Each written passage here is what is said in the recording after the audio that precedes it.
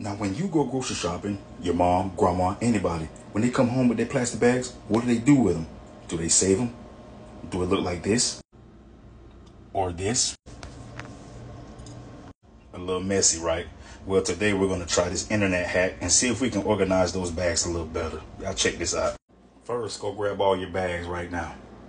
Then go get an empty paper napkin box. If you don't have one, go get one.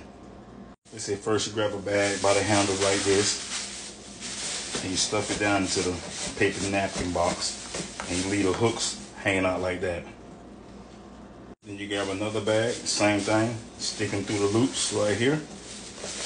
Push down.